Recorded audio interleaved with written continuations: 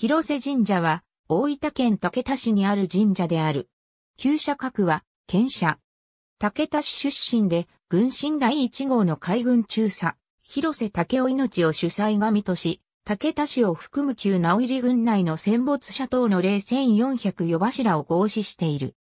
明治37年3月27日に日露戦争の旅順港閉塞作戦で戦死した広瀬中佐の人格と報告の精神を高し行して、当時の首相の岡田圭介や地元の黒川県社ほか、数百名により、広瀬神社創建法参会が結成され、昭和10年5月に社殿が落成、同月25日に鎮座祭が行われ、県社に列した。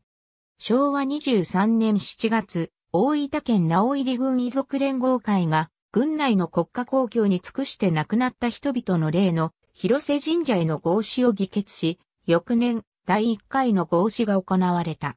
境内には、広瀬記念館があり、祭神に関する展示が行われている。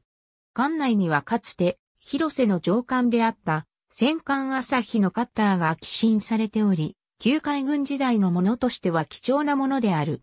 また、同じく、竹田市出身の陸軍大将阿南コレチカの検証碑がある。石踏みは、岸信介の書によるものである。ありがとうございます。